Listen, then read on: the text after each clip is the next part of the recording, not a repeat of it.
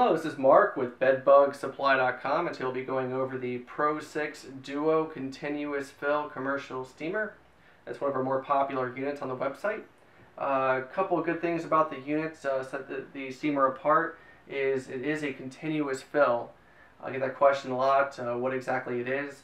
On a normal steamer, uh, you basically have to wait for it to cool down when it runs out of steam, uh, cool down, add more water, and then wait for it to heat back up again uh, with the continuous fill, it basically has two tanks. One is unpressurized and one of them is.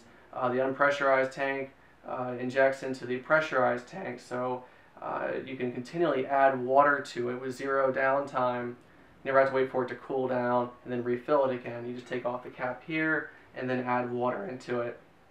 Uh, what it also has as well is a steam adjustment knob, which is found in the Vapamore 299 and above. Uh, this is really nice when you're doing a bed bug job because you can control uh, how much steam comes out, which is very important when you're doing a bed bug job. Uh, comparing it to, uh, let's say, a, um, a hair dryer. A hair dryer has heat to it, but it also creates a lot of force, and it would basically just blow the bed bugs all over the place. When you use a steamer, it works much better because you can control the force, the pressure coming out, so depending on which uh, which tool or uh, attachment you add to the steamer, you can uh, make the steam come out in different ways. Um, going on to the attachments, uh, we'll do that in a few seconds. Alright, moving on to the uh, Pro 6 Duo attachments that are included with the unit. Um, there are so many different attachments. I brought out just a few of them here to show you what we use for bedbug jobs. Um, what I like about the uh, Pro 6 Duo and the Solo also has the same attachments as well is uh, their tubing attachment tools, extensions, are made out of metal, which is uh, very nice uh, for doing a commercial job. Um, what you do is you basically just attach these onto here, and then you can attach the steam gun onto here, so you'll be getting your hands and knees when doing a bed bug job. So it creates more versatility on the unit.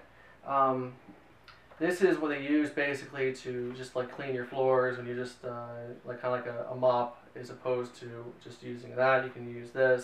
You put a cloth on the end of this. It comes with the unit, and you can use it to clean your floors. Um, again, we're doing bed bug presentation here, so we're not going to be using that for any of the uh, the uh, presentations.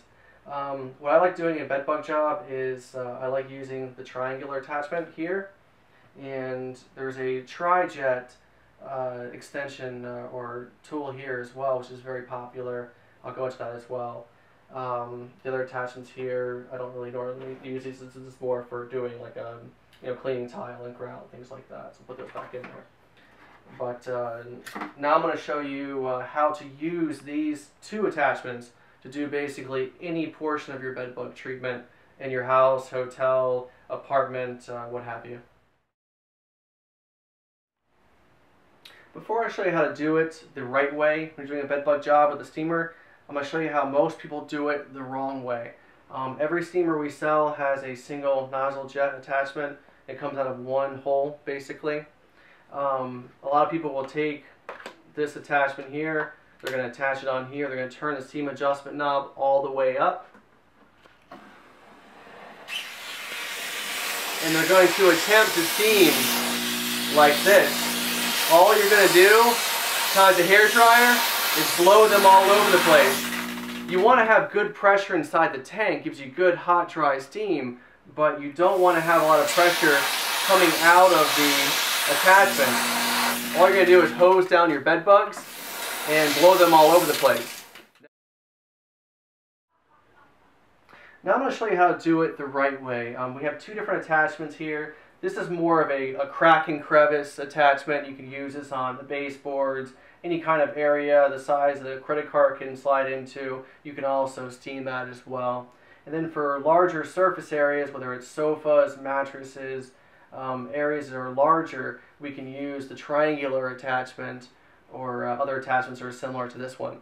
Um, as you look down below here, we have uh, multiple holes that come out of here, which is where the steam comes.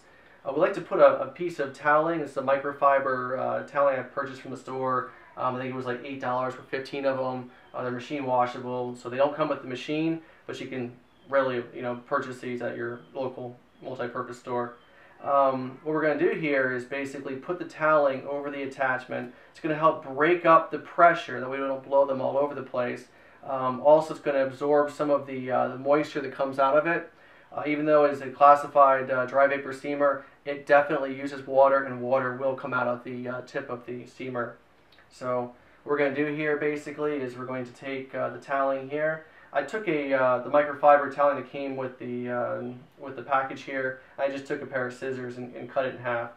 But we want to take the clips here and we're going to attach the toweling to the attachment on both sides here. And then I'm going to take uh, some rubber bands, which also are not included with the unit, but you can get these pretty much anywhere. Uh, and take these and put them over the end.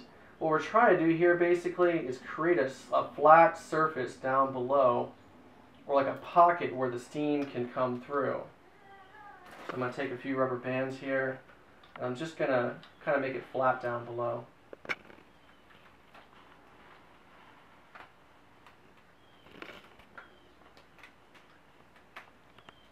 Takes a few seconds. And because I'm a perfectionist, I don't like the way it looks, so I'm going to put one more rubber band down here. Make the fold over.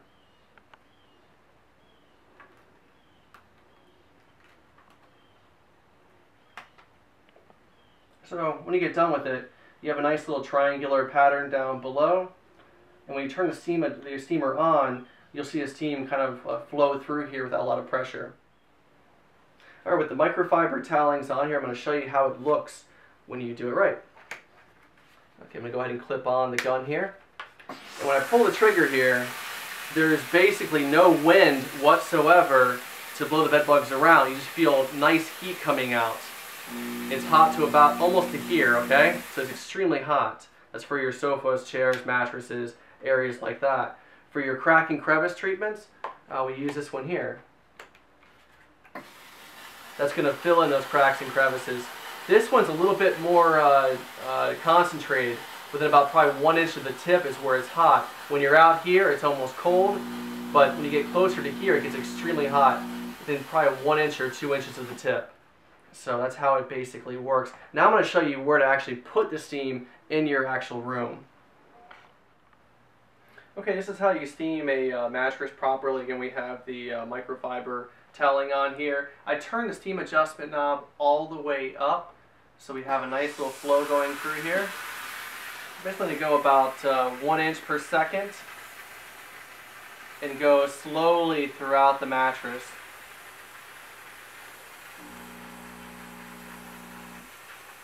Then work your way all the way around. You want to hit parts of the mattress on top. You're just to keep on working the same way around. Slowly working your way across the mattress.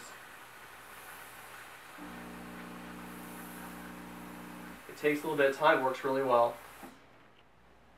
In summary, the Pro 6 Duo commercial steamer is a great unit. Again, it's a continuous model. No need to wait for it to cool down. It has a steam adjustment knob. Has plenty of attachments to a bed bug job. And after you're done with the bed bugs, you can use it as a multi-purpose cleaner for your house. Uh, if you have any questions, you can reach us on the net at bedbugsupply.com.